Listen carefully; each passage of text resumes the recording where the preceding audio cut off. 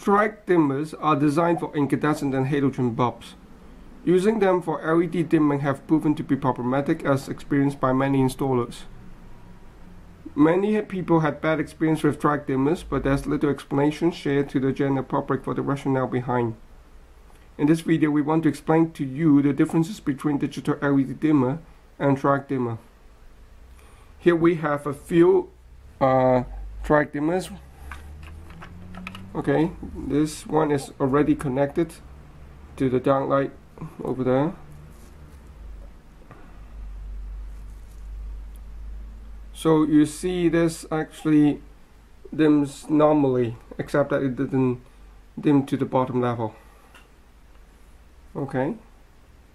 Now let's try it with another TRIAC dimmer.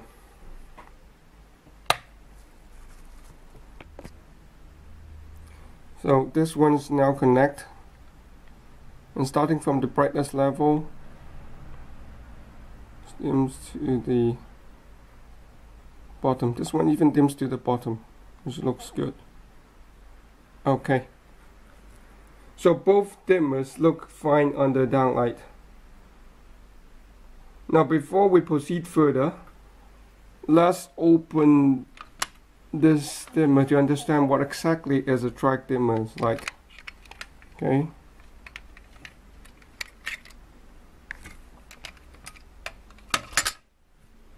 Now this is the main circuit board. The controller IC is here. Okay. And at the back, you see this device is actually the TRIAC IC. So, this semiconductor device or the TRIAC itself is really a, nothing but a semiconductor switch. Okay.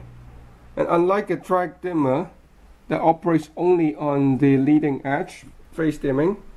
Our digital LED dimmer supports both leading and trailing edge methodology, phasing phase dimming methodology. So some people call our types of devices universal dimmers. Now, more importantly, Uh, in, in, in order for the TRIAC dimmers to work for LED dimming, as subject to two parameters, the minimum holding current of the particular TRIAC IC inside the dimmer, which is really a parameter of this device, okay, which obviously we do not know what that is, and also how much current the LED driver is drawn from the switch, from the dimmer, when dimming at low levels.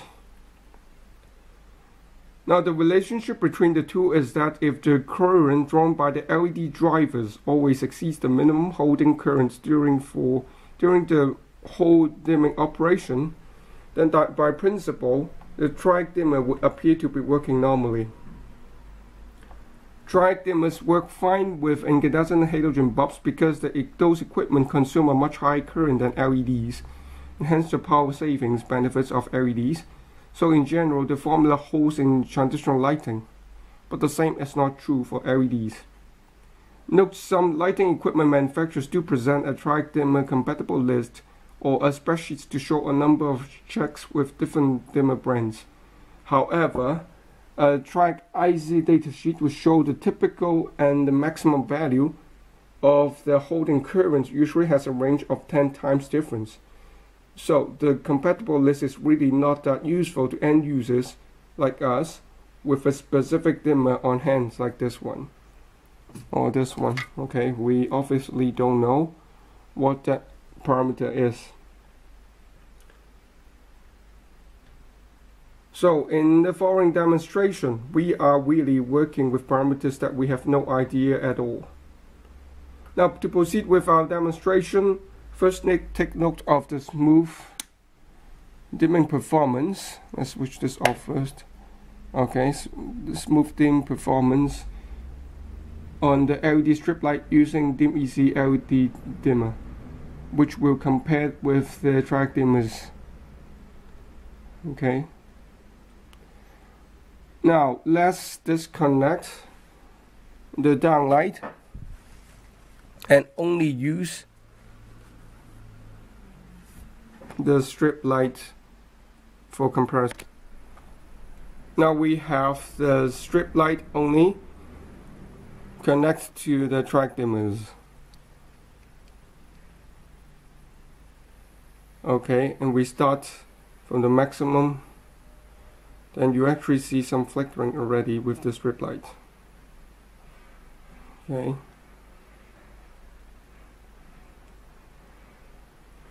Now switch off. Now let's try another one. The, uh, try other TRIAC dimmers and see how it how it performs. Okay, now we have it connected. You already see some flickering.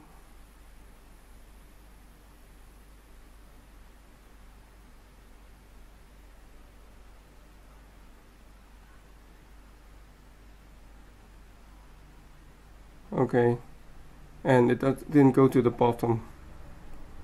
Except you switches off. Okay let's so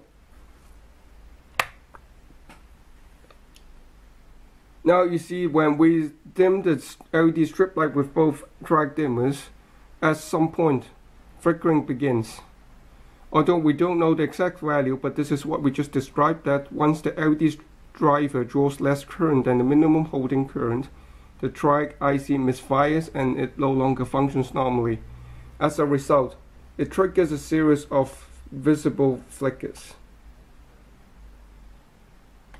Now let's connect to the same downlight together and see if it stabilizes the situation.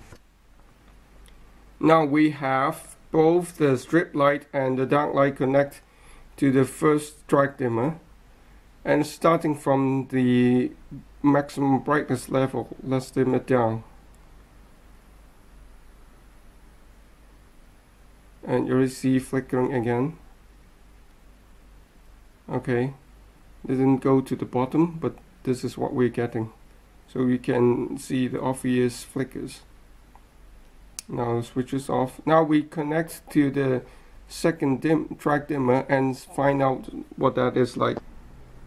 Now we connect both with this second dimmer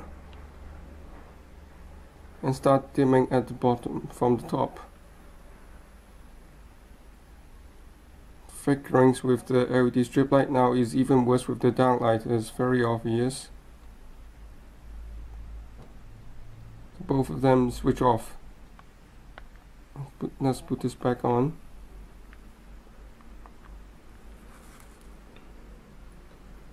So unfortunately, as you see the flickering at the LED strip light at low level does not stop and it causes instability with the downlight that we thought it was working properly before. The second TRIAC dimmer's performance is even worse as it allows dimming to the bottom level, which means further away from the required minimum holding current. As the line voltage is shared among the devices, so if one becomes unstable, the whole system would be affected. The fundamental problem with TRIAC, TRIAC dimmers for LED dimming becomes more obvious when a lighting equipment consumes very small current and is capable of being driven at very low brightness level. And once flicks, the others are subject to misbehave. This is not a technical seminar, so we won't go deep on this topic. However, based on what we just saw and other technical details, using TRIAC dimmers for LED dimming usually associated with the following complaints. 1. The limited dimming range. 2. Inconsistency in dimming performance, what we just saw, and 3. Shortened product lifespan. The TRIAC dimmers burns out frequently and this is related to the leading edge phase dimming methodology. Now just before we leave, we would like to highlight another important point here that as dimmer and driver works hand in hand, deep dimming performance can only be realized if both the dimmer and driver support the same level of performance. And this is what we would like to refer to as deep dimming compatibility, which is really the desired performance in actual dimming applications. Unfortunately, as there is not yet an established market standard on LED dimming performance, any equipment with adjustable brightness level is called a dimmable product. This again causes market confusion on what to be expected with LED dimming. We hope by presenting the issues with TRIAC dimmers our audience would understand that, the TRIAC dimming compatibility is fundamentally different from the deep dimming compatibility concept. In order for LED dimming to become an accessible reality, end users should be aware of the right control technology in order to deliver their desired performance. So the next time you dim your LEDs, think about what you're using to dim it with. Don't play try and error to make LED dimming work with something that's really not designed for the application. And this will conclude our video here.